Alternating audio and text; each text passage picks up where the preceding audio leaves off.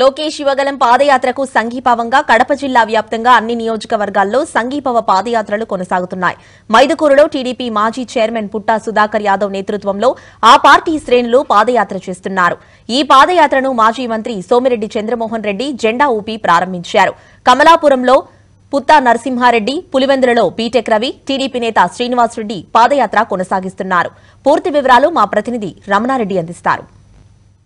Telugu Desam party జాతీయ ప్రధాన కార్యదర్శి నారా లోకేష్ ప్రతిష్టాత్మకంగా తలపెట్టినటువంటి యువగలం పాదయాత్ర వంద రోజులకు చేరుకుంది. ఈ వంద రోజులకు చేరుకున్నటువంటి సందర్భంగా కూడా తమ పాదయాత్రకు సంఘీభావంగా మద్దతు తెలుపుతున్నారు. మైదుకూరు టీడీపీ నియోజకవర్గ ఇన్ఛార్జ్ మరియు తిరుమల తిరుపతి దేవస్థానం ధర్మకథల మండలి మాజీ చైర్మన్ పుట్టా సుధాకర్ యాదవ్. పూర్తిగా కూడా మైదుకూరు నాలుగు రోడ్ల కూడల నుండి అల్లాడపల్లి దేవాలయాల వరకు తన పాదయాత్రను కూడా కొనసాగిస్తున్నటువంటి పరిస్థితి పూర్తి కూడా ఈ పాదయాత్ర చేపట్టేందుకు ప్రధానమైనటువంటి ఉద్దేశం అంటే యువగలం పాదయాత్రకు సంఘీభావ యాత్రగా చేస్తున్నటువంటి పరిస్థితి ఉంది. అటు లోకేష్ యాత్ర కావచ్చు ఇప్పుడు మీరు ప్రస్తుతం కొనసాగించేటువంటి పాదయాత్ర కావచ్చు.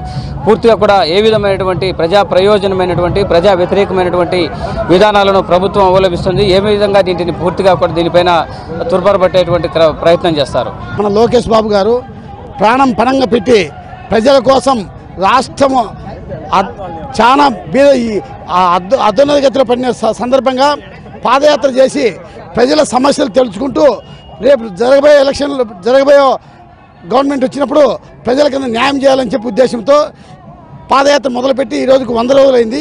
దాని సందర్భంగా మా నియోజకవర్గం మైదుకూరు నియోజకవర్గం నుంచి మా కార్యకర్తలందరూ ఉత్సాహంగా ఎంతో ఉత్సాహంగా మేము ఊహించినటువంటి ఉత్సాహంతో ఈరోజు పాదయాత్ర లోకేష్ బాబు గారికి సంఘీభావం తెలుపుతాము దాని భాగంగా ఒకటి కాదు ఒక అరాచకాలు కాదు విపరీతమైన అరాచకాలు దౌర్జన్యాలు విపరీత కేసులు ఇవన్నీ పెట్టి ప్రజలను చాలా హింస చేసినారు. దాని మూలంగా అందరూ తెలియజేయాలని చెప్పి చేయడం జరిగింది. దీనికి మొన్ననే ఎమ్మెల్సీ ఎలక్షన్లో ప్రజల గుణపాఠం చెప్పారు. ఈ గుణపాఠం మళ్ళీ కూడా చే- తెలియజేస్తారు. ఖచ్చితంగా దాని ప- దాని గుణంగా ఈరోజు ప్రజలు చూస్తుంటే ఎంతో ఆనందంగా ఉత్సాహంగా వాళ్ళు వచ్చేందుకు వారికి అందరికీ కూడా ధన్యవాదాలు తెలియజేసుకుంటున్నాము. తెలుగుదేశం పార్టీ అంటే సామాజిక వర్గాలు బలహీన వర్గాలు పేదలు తర్వాత మహిళలకు కానీ మైనార్టీలకు కానీ అందరికి కూడా సమన్యాయం చేయాలనేటువంటి పార్టీ తెలుగుదేశం పార్టీ. పేదలకు రాజ్యాధికారం రావాలా? బలహీన వర్గాలకు ఆత్మగౌరవం రావాలా? ఆత్మవిశ్వాసం రావాలా? బలహీన వర్గాలకు ఆ పేద ప్రజలకు రాజ్యాధికారం వచ్చి వాళ్ళు పరిపాలనలో భాగస్వామ్యం చేయాలా? వాళ్ళ గౌరవం పెంద పొందాలనే ఉద్దేశంతో మరి అన్ని సమాజ వర్గాలను మిళితం చేస్తూ లోకేష్ గారి పాదయాత్ర వంద రోజుల సందర్భంగా ఆయన మద్దతు తెలియజేస్తున్నాం. విజయవంతంగా జరగాల.